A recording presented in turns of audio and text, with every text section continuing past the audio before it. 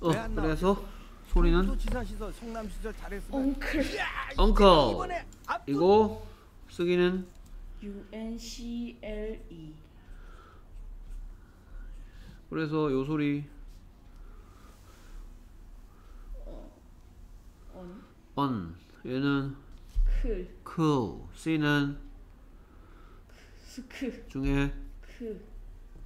그래서 cool 됐고 얘 소리 안 나고 있고 U는 U U 어 중에 어. 얘는 합쳐서 엉클 uncle uncle, 오케이. 소리? 베스트? vest. 쓰기?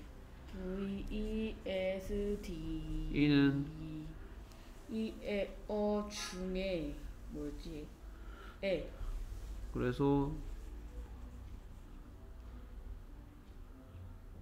얘가 내는 소리. 베 vest 스트. 다 합쳐서 vest. vest. Vest, vest. 오케이. 수고했습니다. 와 드디어 다 했다. 네